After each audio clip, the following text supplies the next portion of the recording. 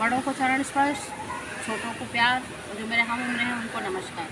आज मेरा बर्थडे है, जन्मदिन है मेरा आज, और आप सभी का मुझे प्यार, स्नेह, आशीर्वाद चाहिए। मेरे यूट्यूब फैमिली मैंने एक नया शुरू किया है अभियान की जो बुज़ुर्ग लोग सब, युवा पीढ़ी से नाराज़ रहते हैं।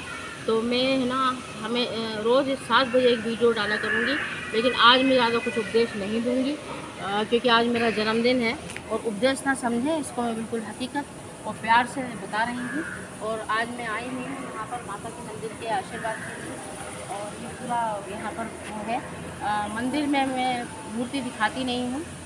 माता भगवान की क्योंकि मैं उस पर से सब्सक्राइब लाइव शेयर वगैरह नहीं लेती तो मैं आज दर्शन के लिए आई हूँ।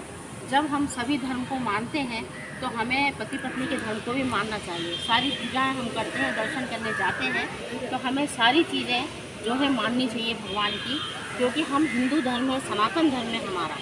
तो हम कपड़े भी उटपटांग जो है वो पहनते हैं तो हमारे धर्म में देवी देवताओं ने उटपटांग कपड़े तो नहीं पहने हैं ना?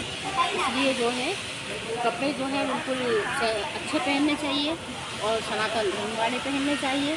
जिसमें कि देवी देवता भी नाराज़ ना हो, हमारे बुज़ुर्ग भी नाराज़ ना हो, क्योंकि हमारे जो भी देवी देवता रहते हैं, कुल देवता तो हर जगह रहते हैं, हर हिंदू धर्म में रहते हैं, ताकि वो भी नाराज़ ना हो। और बाकी का आगे मैं आपको कल सात बजे फिर वीडियो डालूँगी।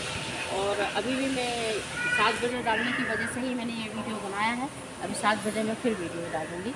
तो प्लीज़ देखिएगा शेयर एंड लाइक कीजिएगा। कुछ गलती हो तो कमेंट में ज़रूर बोलिएगा। जय श्री राम।